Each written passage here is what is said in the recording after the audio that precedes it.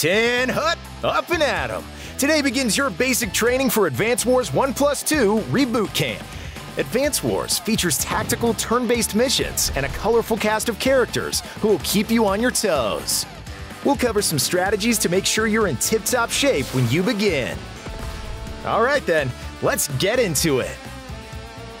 While you work your way through the two separate story campaigns, you'll control several different commanding officers, commonly referred to as COs. Your mission? Defending from opposing nations. But before we get into the nitty gritty, let's make sure you understand the basics of battle.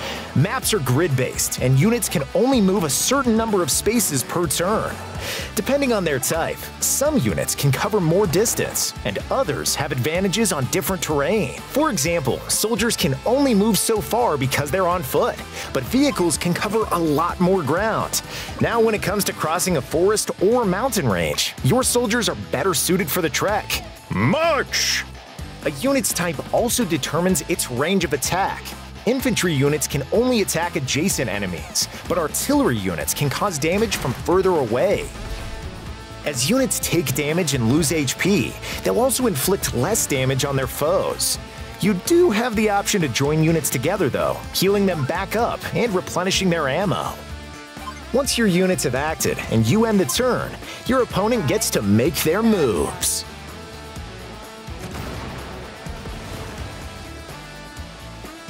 Now, let's cover how you can gain the tactical advantage.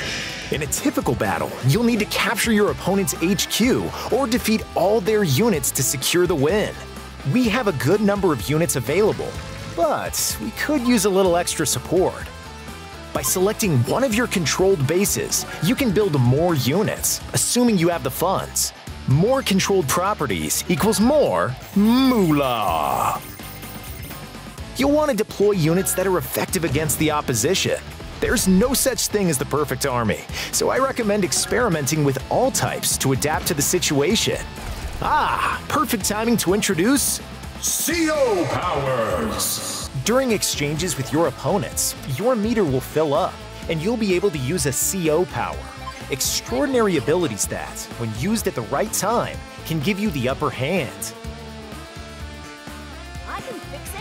The Orange Star's Andy can use a CO power called Hyper Repair. This restores HP to all his units and increases their defense. Ready for attack. Eagle of the Green Earth Army has a CO power called Lightning Strike, which allows his units that have already acted to move again. There's a wide variety of CO powers at your disposal, so figure out which best suit your playstyle. Ba-boom! By the way, there are a couple of new features that'll come in handy. Want to speed up the action? Just hold down the ZR button to cruise through dialogue and combat animations. There's also a shiny new reset turn option that allows you to, you guessed it, reset the current turn. Following along so far? Good, because we're not done yet. Hoorah! If the campaign isn't enough for you, then try your hand at the War Room. Here you can test your tactical prowess in a wide array of different challenges with the CO of your choice. Try to get the top ranking. Still want more? Then try Versus Mode.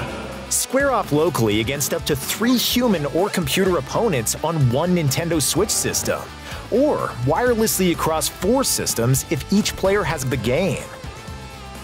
Are your squad mates further afield? Then challenge each other via the internet in Online Mode. You and a friend can compete head to head in an all out tactical tussle. You'll both need a Nintendo Switch console and the game, as well as active Nintendo Switch Online memberships. There are a few other modes where you can spend some time, including the Design Room. Here, you can create custom maps and share them online or through a local wireless connection. You can also pay a visit to the local commissary called Hachi Shop. The Orange Star Army's local chatterbox Hachi is ready and willing to separate you from your in-game coins in exchange for additional battle maps, COs who can be used in the War Room and multiplayer modes, and more.